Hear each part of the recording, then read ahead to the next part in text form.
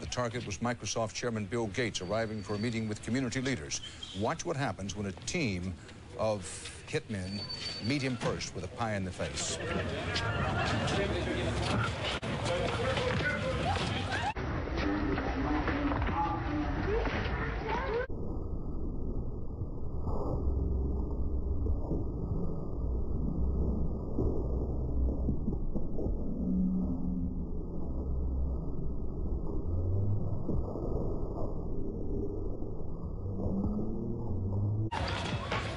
Gates was momentarily and understandably shaken, but he was not injured.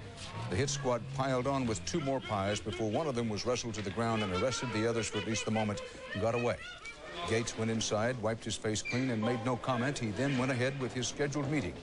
No word on the motive for this attack.